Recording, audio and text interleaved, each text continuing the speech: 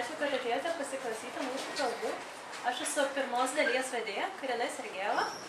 Ir norėčiau pristatyti savo kolegos, kurios kalbės. Taigi mūsų temos, kurias mes pristatinėsime jums, buvo išrinktos mūsų pačių ir mes tikimės, kad jums patiks ir jūs sudomins arba kažką naujo jums suteiks.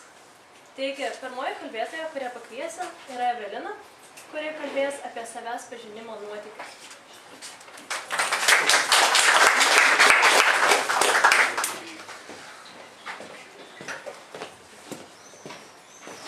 Taigi, sveiki visi.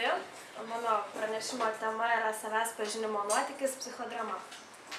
Norėčiau pradėti nuo to, jog kartais gyvenime susidurėme su tokiais sunkumais, kurių rodas neįmanoma apsakyti žodžiais. O sielas išgyjimo reikia tarsi gryno oro. Tuomet atrodo, rėktum, jei galėtum, bet tinkamų žodžių tam apsakyti nerandi. Ir staiga supranti, kad gyvenime ne viską žodžiu grįsta. Supranti, kad veiksmas gali būti iškalbingesnis už tūkstantį žodžių, o mokymasis būti savimi ir kitu galėtų padėti išsivaduoti. Todėl šiandien norėčiau Jums papasakoti apie sceną, kuri gydo. Apie sceną, kurioje nereikia jokių žodžių. Apie galimybę tapti tuo, kuo norėtum, bet galbūt niekada gyvenime neišdrįstum. Ir žinoma apie terapiją, lik veidrodį, atspindinti mūsų sielos turinį. Išvertus iš graikų kalbos, psichodrama reiškia sielos veiksmą.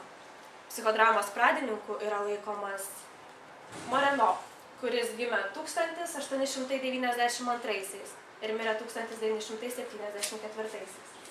Psichodrama kilo iš jo spontaniškojo teatro, kurį po pirmojo pasaulinio karo jis buvo įsteigęs Vienoje. Šio teatro idėja kilo jam stebint vaikus žaidžiančius parke. Jis mane, jog vaikai žaisdami įgyvendina savo fantazijas ir tikėjo tuo, jog kiekvienas žmogus, nepaisant jo amžiaus, turi natūralų sugebėjimą žaisti ir vaidinti.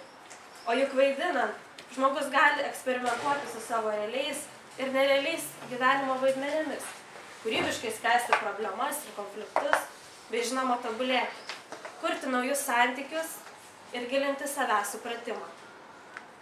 Anot psichodramos pradininko, veiksmas yra pirmesnis už žodį, todėl tikrai tiesą galima pažinti tik veikdami. Psichodrama yra grupinė psichoterapija, savęs ir savo artimųjų pažinimas keičiantis vaidmenimis. Tai yra metodas orientuotas būtent į veiksmą, kuomet grupės dalyviai spontaniškai dalinasi savo jausmais, susijusiais su jiem svarbiais patyrimais ir problemomis. Būtent tokiu būdu žmogus gali pažvelgti į savo problemą iš kitos pusės. Žmogus tampa savo problemos herojumi, o kiti grupės dalyviai, atlikdami papildomus vaidmenis, padeda jam geriau įsijausti ir kartu teikia papildomas informacijas apie emocijas ir kognityvinius aspektus. Būtent toks papildomas vaidmuo žmogui leidžia pažvelgti į savo problemas iš kito problemos prizmės. Leidžia mokytis ir leidžia pažinti visus galimus problemos sprendimo būdus. Psichodrama pasaulyje yra labai gerai žinomas ir plačiai naudojamas metodas, tačiau Lietuvoje jos kelias yra gana sudėtingas. Pirmasis psichodramos seminaras Lietuvoje buvo visai neseniai, 1992 metais.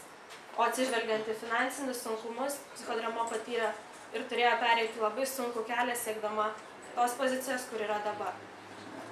Kadangi psichodramos specialistai yra ruošiami pagal europinius standartus, turi būti sudaroma galimybė grupinėms ir individualioms supervizijoms. Tam yra reikalingi svečiai iš viso pasaulio. Todėl šiuo metu Lietuvoje yra vos devyni psichodramos specialistai, kurie yra išklausę visą psichodramos kursą ir apsigynę savo darbus. Galime pasidžiaugti, kad šiuo metu net devyni žmonės siekia psichodramos specialisto profesijos ir net 11 nori tapti psichodramos asistentais. Tai yra puikus pavyzdys, jog psichodramos kelias Lietuvoje jau pradėtas ir jinai žengia pakankamai plačiu keliu. Na ir pabaigai norėčiau paminėti visus galimus lūkesčius.